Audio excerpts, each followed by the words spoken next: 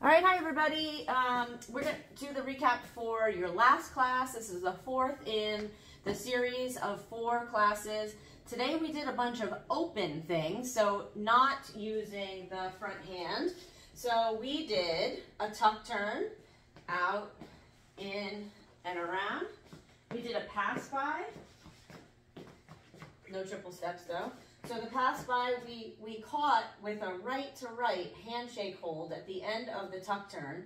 To lead this open turn, we release out, the leads release out, the follows are stretching back, stretch, and then change places. Rock, step, step, step, rock, step, step, step. And then we did, we used that same um, turning motion that we did to get back to closed with the underarm turn, we did with this right to right handshake hold where we let go. Rock, step, step, step, and we're back to close. So we'll show you all the things um, that we did today, and um, also at the end of class, then we mixed it with your, your send outs, send ins, tuck turns, and pass bys with the connected arm. But we'll do a couple of unconnected basics. Rock, step, slow, slow. You could rotate this around in a circle. Rock, step, slow, slow. You could do a tuck turn, slow, slow. Rock, step, slow, slow. You could do pass bys, slow, slow. And then you can go back to closed. Rock, step, slow, slow. Um, and that was it.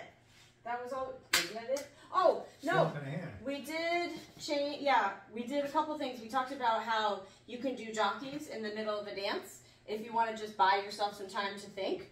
We talked about how to change the hand. So if we're in a regular hand hold with leads left, follows right, the lead, as the follow goes by, can just hand that hand over. Um, we didn't talk about this so much, but if you want, if you're in an open turn and you want to pick up the other hand, so if you're doing a pass by, quick, quick, slow, slow, you can go back to your regular hand hold on the other side of that. Um, and you can do the same thing on the tuck turn. You can just change the hand out, in. Oh, I guess that's just normal. Yeah, that's just normal. Um, I, I guess what I meant was if you held onto this hand, and you did the tuck turn, you can change the hand just by passing it, just like you did on the pass by before. Is that it? Mm -hmm. Okay. Yeah, thanks very much, you guys.